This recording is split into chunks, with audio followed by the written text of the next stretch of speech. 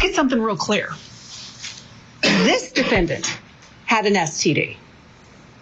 And this defendant assumed that he got it from Brooklyn Sims.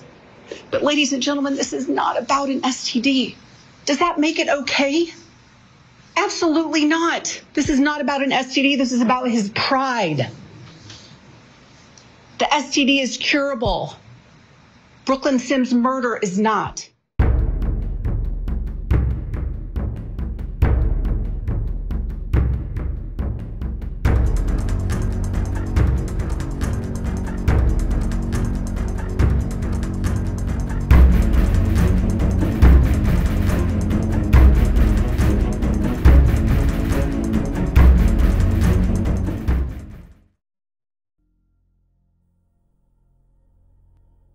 On the sultry afternoon of Friday, August 11, 2023, the languid air in Pensacola, Florida was abruptly shattered by a cacophony of terror.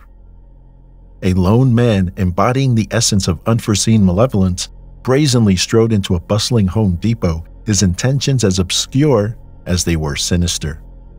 In a moment that seemed to defy time, he unleashed a barrage of gunfire, transforming the mundane into the horrific in mere seconds. Amidst the aisles lined with tools and home essentials, one person was tragically slain, left lifeless in the wake of this inexplicable violence. The cruelty of the act was further compounded as two of the deceased women's colleagues were injured as a result of the assailant's fury. Yet, as the investigation unfolded in the aftermath, the depths of the tragedy deepened.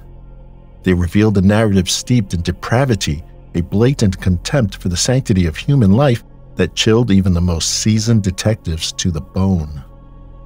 As we venture into this multifaceted and deeply disturbing case, we tread a path lined with questions of morality, sanity, and the very nature of evil itself.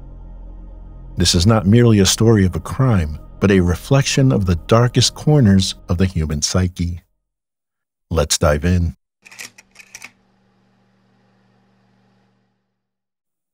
On Friday, August 11, 2023, a worker at a Home Depot in Pensacola witnessed a disturbing incident. Well, um, I came back from a lunch break. I went behind the counter to go pick up my trusty iPad I use for surveying. And um, I was talking to a coworker and I heard pop, pop, pop, pop, pop, like five or six rounds go off. And um, I realized it was a gun and I told him, I said, duck and cover and I went right up underneath the counter, um, back behind the main counter, and I was sat there Indian style, and I called 911. Then I heard someone was hurt, and I said, also please send paramedics. And I stayed with her on the line until um, the police arrived and uh, told us to evacuate. When Escambia County Sheriff's Office deputies arrived, they discovered a deceased woman lying face down in aisle 52. She was identified as 18 year old Brooklyn Sims, a single mother with a two year old daughter who was working her usual shift. Two of Sims's colleagues were also shot. One was grazed in the hand, and the other grazed in the back. Deputies were told by witnesses that the suspect left the building running. We do believe the victim was targeted, said Escambia County Sheriff Chip Simmons, and the other two were essentially in the wrong place at the wrong time. Surveillance footage captured a male entering the store and turning down aisle 52. Seconds later, people are seen running from aisle 52 while the shooting suspect runs back toward the entrance. He flees into the parking lot, enters a silver four door sedan, and exits the parking lot at a high rate of speed toward Duval Street. Soon after the shooting, a man called the Pensacola Police Department from a nearby Mellow Mushroom restaurant on Bayou Boulevard.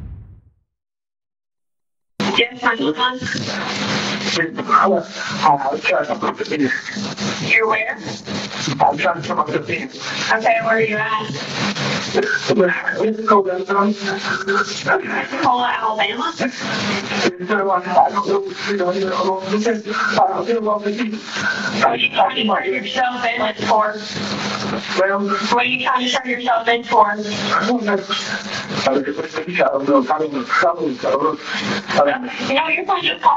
to pop in someone to help you. Are you injured at all? The caller went on to provide his location, and officers arrived quickly.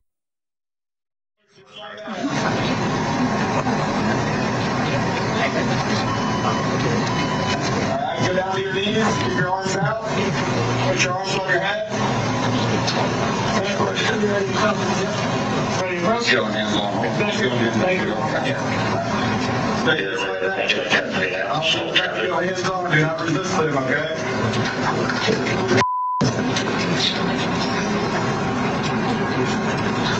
We're ten fifteen at AMC, do not require any additional units here. No.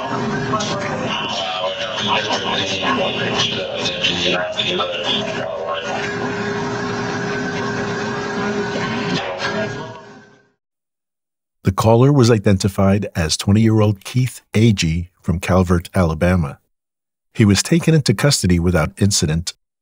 According to the arrest report, Agee was transported to the Escambia County Sheriff's Office and subjected to interrogation.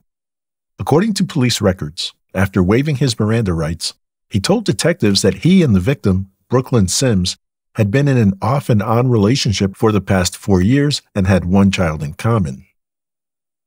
He said despite Sims having been granted a protective order against him, she would still have contact with him so that he would be able to see their child. Agee claimed that they had spent the weekend together at his residence two weeks prior. They were intimate, and the rest of the weekend was without conflict. He then began to describe a possible motive for his actions. Agee said he started his day by going to work at a steel company in Mount Vernon, Alabama. While at work, he received a call from a local medical office. He was given the news that he tested positive for the sexually transmitted disease gonorrhea.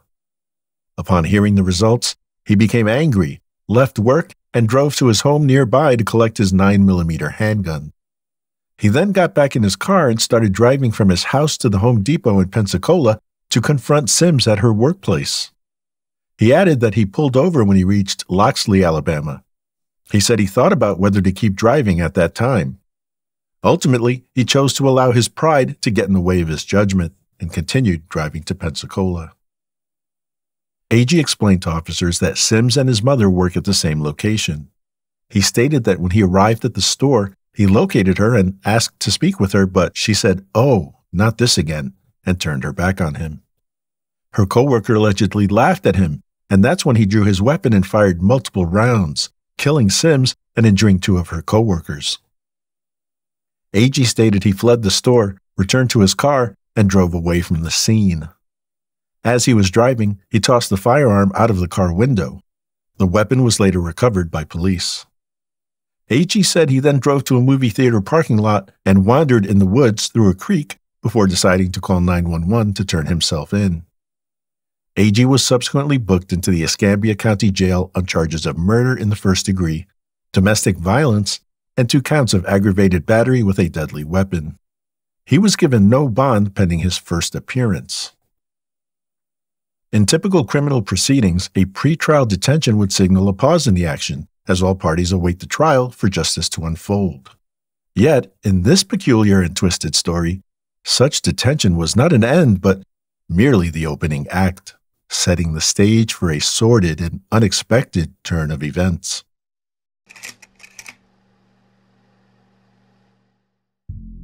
Following Keith Agee's arrest, authorities confiscated his cell phone. A search warrant was swiftly obtained, paving the way for a forensic examination of the device. The data extracted from Agee's phone, even in its partial form, left the most hardened staff members in a state of disbelief. Recovered text messages exchanged between Keith Agee and his mother, Sheila, began at 10:37 a.m. on the day of the murder until a mere 40 minutes before the shooting at Home Depot. Keith starts the text message thread 2 minutes after learning about the STD test results. He finds out his mother is working with Sims in Pensacola and expects to give her a ride home to Alabama after work to collect their daughter. His initial plan is to confront Sims as soon as they arrive. At 11:09 a.m., Keith texts, "She ain't do nothing but cost me money and give me an I'm getting ready to shoot her. I know I hate that for my daughter, but like I said, I can't take it no more." Sheila responds 1 minute later stating, "Okay, I'll call you and tell you MF if you want to go to jail. I'll tell you when we get close, but if you don't come kill her, you a don't call Nanny and tell her. She'll try to talk you out of it. Keith replies, I ain't even going to tell her why I left. I'm just going to say I got to go to the dentist. To which Sheila replies, Don't shoot at my MF car. I don't want to die. Keith says, I'm not. Sheila states, Wait till I put her out. In discussing his plan to kill Brooklyn in the Home Depot parking lot, Keith tells his mother, But that's another thing. If she don't get out that car, Mama, and I have to drag her out, or can't, I'm going to ask you to step out because I'm going to open the door and just shoot her. As long as you don't shoot me, replies Sheila. She then adds, Hell, if you're getting off work now, I'll give you the address here, and you can ride over here and do it, so you don't have to do it in front of your daughter. Keith agrees, responding, Send it to me. Sheila, seeming to understand the risky nature of the conversation, texts, Hold up, let me get it. Erase the text because I don't want nobody to know I was texting your stupid ass. Keith states, I already deleted mine. Trust me, I ain't gonna say shit about us even talking today. At 11:32 a.m., Keith confirms to his mother that he is headed to Pensacola and asks for the address again. Sheila replies, "I'm getting it. Give me a minute. I'm on lunch."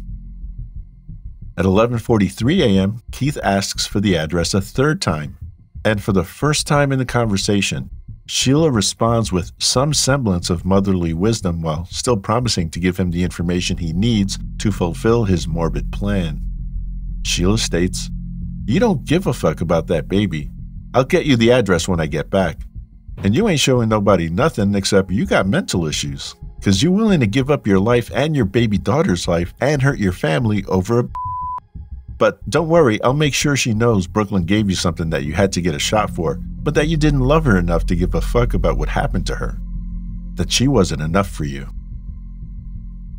Finally, at 11:55 a.m., Sheila sends her son a screenshot of the address for the Home Depot on North Davis Highway in Pensacola. One of Keith's last messages to his mother reads, "So that last thought of her, knowing she's and the regret in her face will be enough to satisfy me. I don't give a f- what she sees when she's dead." The final text in the thread is sent by Sheila at 12:42, stating, "Okay then, stop texting me. I'm working. Do whatever." Less than 1 hour later, Brooklyn Sims was dead.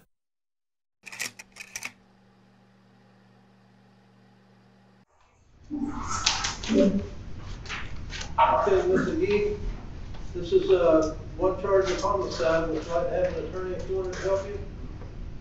Good afternoon, Your Honor. Jack Wilkins from Mississippi, and um, I'm uh, assisting Mr. Ravi. He's unavailable for today, so I'm covering her first appearance.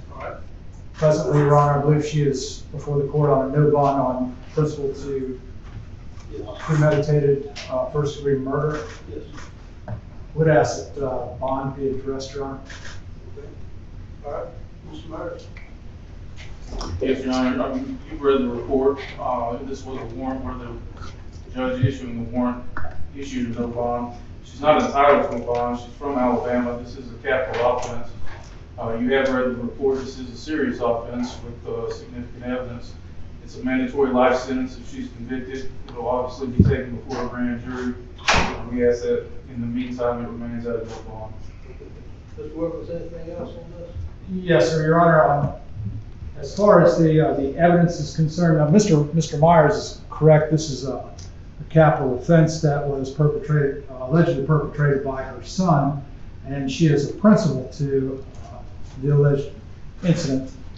Uh, The majority of the evidence that the court has reviewed is text messages that were taken out of context.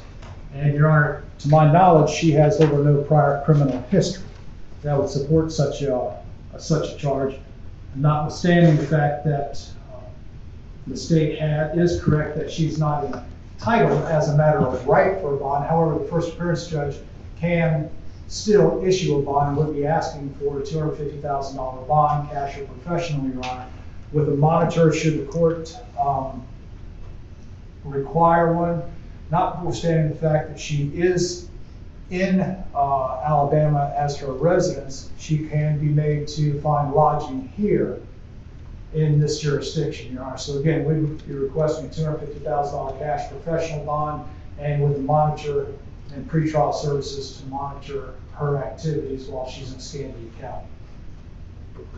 I think, sir, at this time, the bond will remain a no bond. You'll be ordered to have no contact with any witnesses in the case.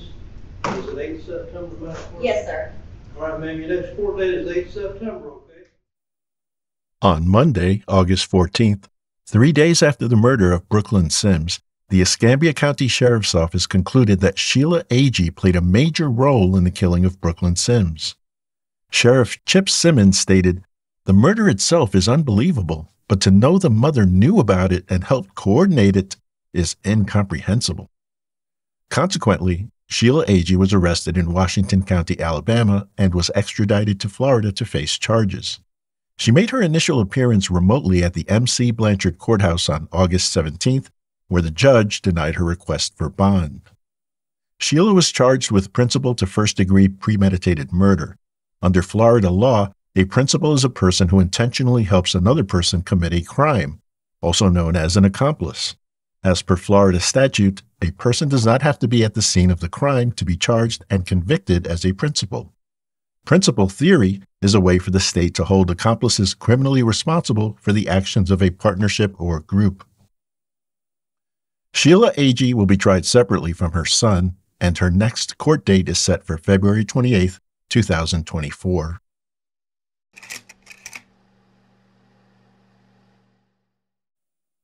The trial of Florida versus Keith Agee commenced on December 19, 2023. Prosecutors entered the courtroom with confidence, bolstered by what they considered an overwhelming case for conviction. The evidence against Agee was formidable a confession, clear video evidence, testimonies from multiple eyewitnesses, and damning text messages.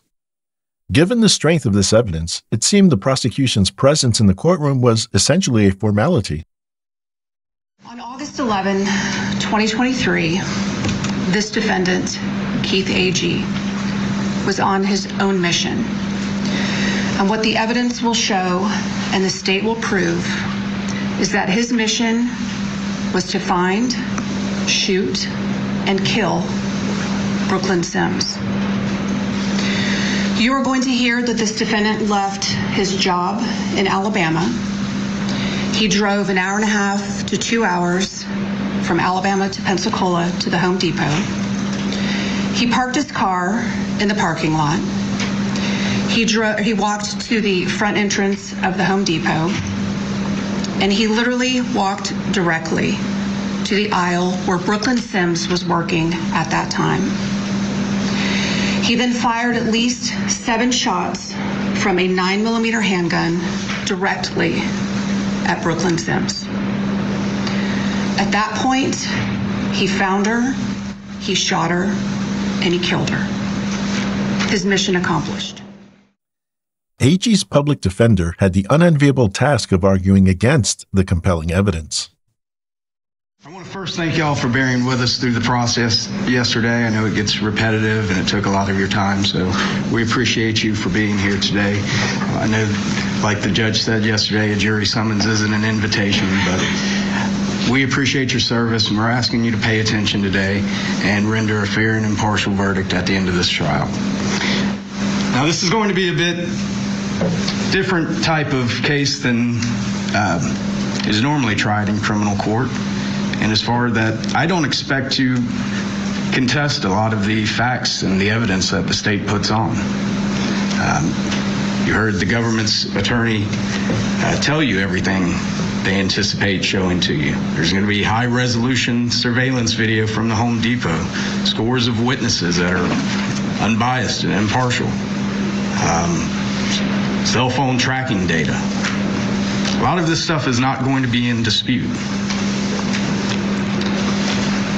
But at the end of this trial, I'm going to ask you to rent, as being fair and impartial jurors selected to hear the facts of this case and ultimately reach a decision. I'm going to ask you to determine whether this was a cold, calculated, premeditated first degree murder, as the state's charged it, or was it something else? Was it something else? You just witnessed Agee's defense attorney state the question is not whether Keith Agee killed Brooklyn Sims, but whether Agee was in his proper state of mind. For example, was he so enraged that he was not in control of his mental capacity? A conviction on a reduced charge of second degree murder would mean that the 20 year old Agee could still have some semblance of a life when his prison term is done. In the state of Florida, a conviction of first degree murder is punishable by a sentence of life in prison without the possibility of parole and, in certain circumstances, the death penalty. In most murder trials, it is generally considered not a good idea for the accused to take the stand. But in this case, the decision was made that Agee would testify in court in the hopes of persuading jury members to his diminished responsibility claim.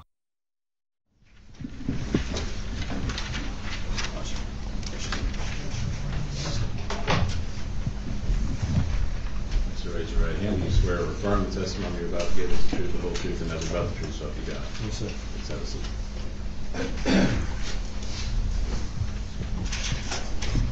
All right, well, we pointed out several times today, but I want you to state your full name for the jury and spell your last name for the record.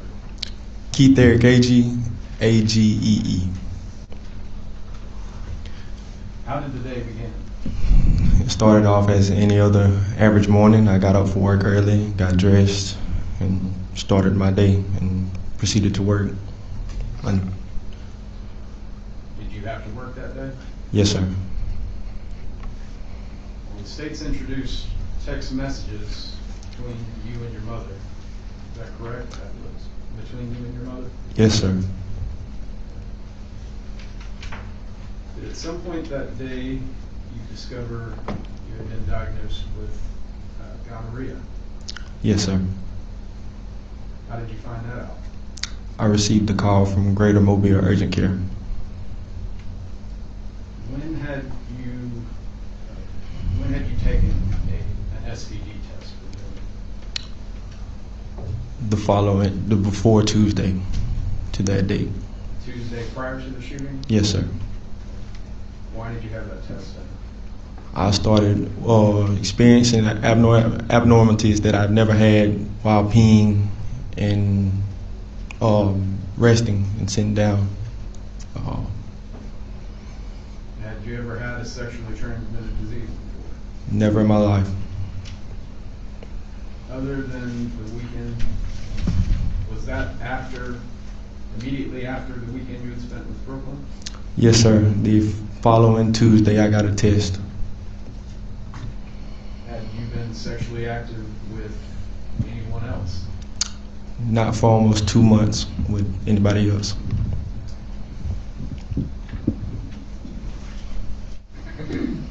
After you were informed you had an STD, how did you feel? Enraged, betrayed, hurt. Through this testimony, the defense aimed to achieve several objectives to present Agee as a relatable individual, delve into and clarify his mental state at the time of the offense, and sway the jury by showing Agee's sense of remorse and acceptance of responsibility. Yet, it was crucial that Agee's demeanor, the consistency of his narrative, and his overall credibility hold up under the rigorous cross examination by the prosecution, where every detail of his testimony would be meticulously scrutinized.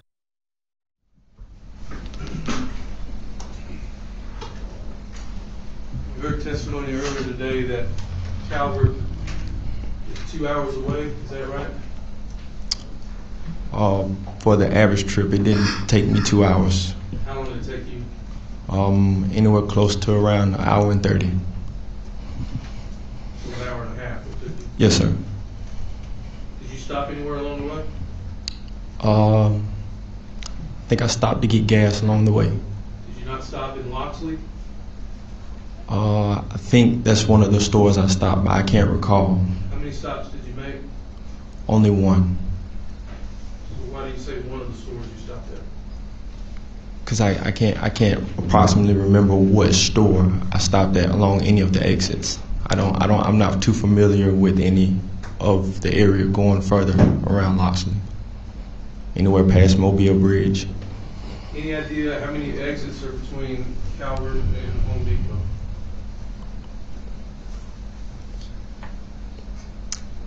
Any, prob, I'd say about 20 maybe. About 20 exits.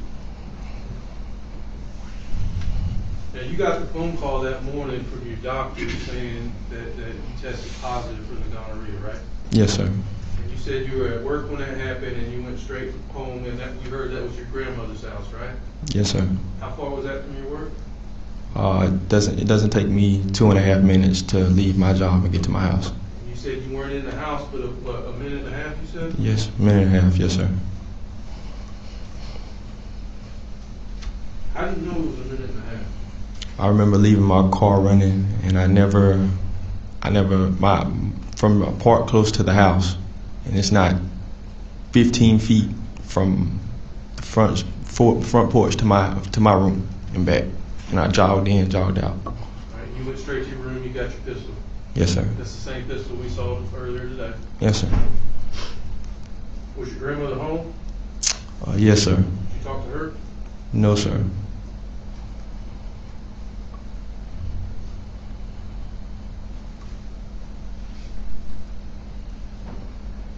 You, you knew Brooklyn would be with your mother, but you didn't know where they'd be working, right? Yes, sir. And you got the address from your mother. Yes, sir. So when you got the phone call from your doctor, you automatically assumed Brooklyn gave it to you, right? Yes, sir.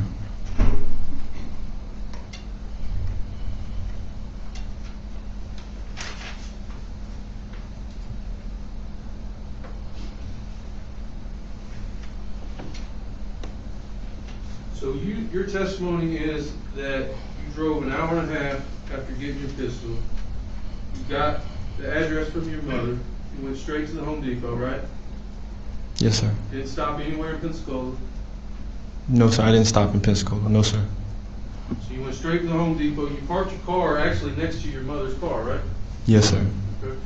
You left your car and, you went up to uh, approach Home Depot. You saw the video earlier, right? Yes, sir. Okay. And you had your phone out. Yes, sir. What were you looking at? Uh, nothing. Nothing. My phone was just in my hand from being in the car. I, I had GPS on because I didn't know my way through Pensacola or how to get to Home Depot. When you were in the parking lot and in that store, did you not look down at your phone? I probably. I, I, I can't recall. Was your mother telling you where she was? No, sir. Not in in the store. Did No. she drop a point to you? She, she told me on the way to Home Depot that they would be in Home Depot. Did she tell you what aisle? No, sir. Did she drop a point to you? No, sir.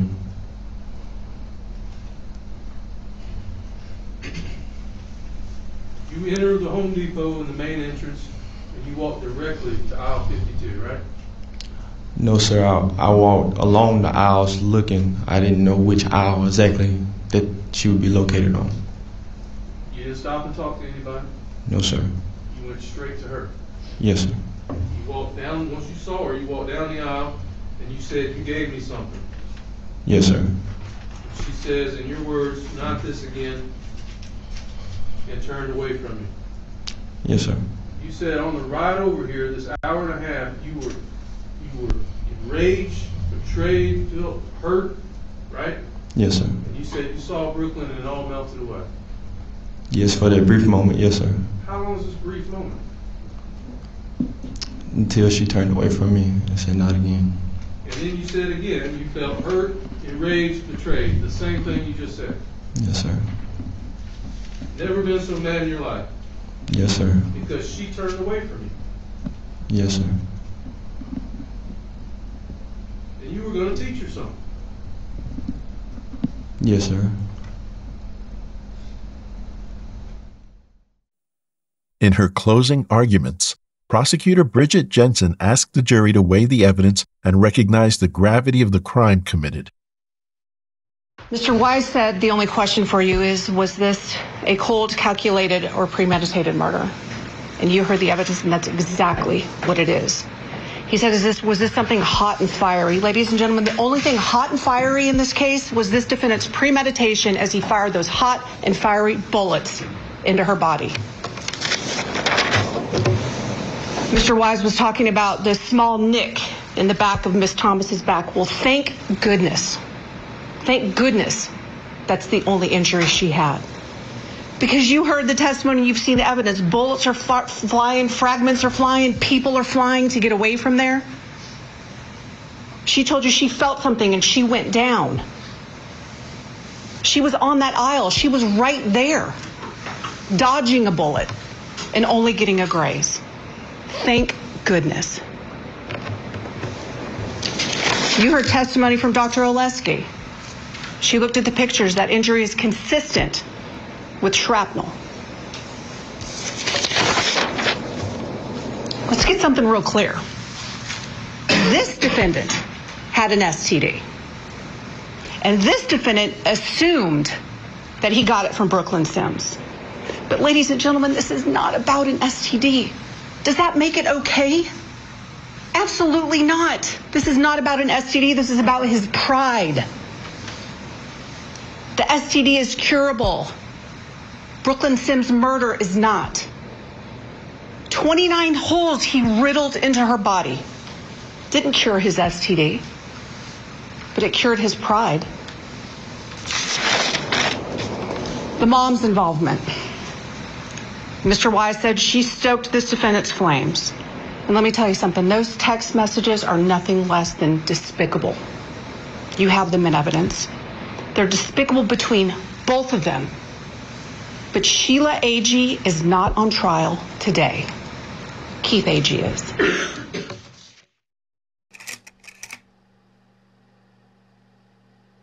In the Circuit Court for Escambia County, Florida, State of Florida plaintiff versus Keith Eric Agee defendant. Clerk number 1723CF 003379A, Division A. Verdict. We, the jury, find as follows as to the counts charged in the indictment. Count one, guilty of first degree murder as charged. Count two, not guilty. So say we all this 20th day of December 2023. Upon his conviction, the Honorable Judge Coleman Lee Robinson immediately sentenced Keith Agee to life in prison without the possibility of parole. During the sentencing, Attorney Jensen wanted to clarify one final matter for the record. Judge, one last thing, I, I really, um, want to this into evidence. Judge, um, this is an extraction report from Sheila Agee's cell phone number, and they're just some text messages between her and Brooklyn. And would look on page four, um, Brooklyn sent, um, a picture of, um, the doctor's appointment she had on August fifth. And if you look at the very last page, it just shows that Brooklyn actually did not have gonorrhea. And I know in the grand scheme of things, it doesn't matter, but we just wanted to give Ms. Sims a little bit of dignity.